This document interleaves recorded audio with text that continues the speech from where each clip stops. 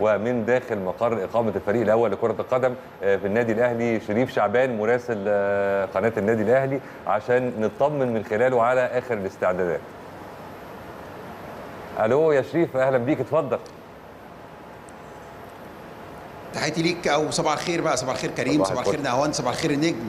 نجوم النادي الأهلي طبعا آه، سوبر ستار هاني العجيزي. صباح الخير لكل مشاهدي قناة النادي الأهلي. من فندق إقامة النادي الأهلي موجود في التجمع الخامس. خليني الأول أقول لك الحركة المروريه يمكن كوبري 6 أكتوبر في الاتجاهين عليه كثافة مرورية كبيرة جدا اللي نازل مشوار لوسط البلد أو المهندسين لازم ينزل بدري شوية لأن في كثافة كبيرة جدا مرورية. ولكن في مدينة نصر ومصر الجديدة حدث ولا حرج الإنشاءات والتطوير ال- ال- ال- الشوارع والكباري الكتيرة جدا في مدينة نصر. عاملة سيولة مرورية كبيرة جدا التجمع الخامس أيضا فيه سيولة مرورية كبيرة جدا.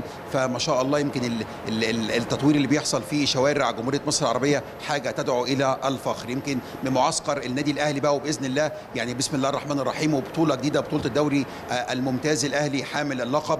فبنستعد بإذن الله للبطولة. رقم آه، 43 النهارده برنامج النادي الأهلي بدأ في التاسعة والنصف صباحا. كانت وجبة الفطار الغدا هيكون الساعة واحدة ونص المحاضرة هتكون الساعة 4 السناكس الساعة 4 ونص التحرك هيكون الساعة 5 ونص طبعا المباراة هتكون في استاد الأهلي والسلام في السابعة والنصف. يا رب بإذن الله يكون التوفيق من نصيب النادي الأهلي ونقدر نفوز على فريق المقصة فريق العنيد اللي معاه مدير آه، فني كبير. النهارده بيحكم اللقاء حكم ساحة إبراهيم نور الدين مساعد أول شريف عبد الله مساعد ثاني أحمد نوفل حكم رابع حسين آه، إسماعيل حكم فيديو محمود دسوقي ومساعد آه، فيديو عاطف حسين. النهارده غابات النادي الأهلي كتير شوية. حسين الشحات اجاييه مروان محسن وليد سليمان آه، أحمد ريان آه، بيكهام. يمكن ربنا يوفق بإذن الله ال 21 لعيب اللي موجودين في قائمة المباراة ال- ال- النهارده وبإذن الله يكونوا مركزين. امبارح مستر موسيماني بعد أو قبل بداية المران كان في محاضرة فيديو آه، وفرجهم على فريق المقصه يمكن نتكلم على نقاط القوة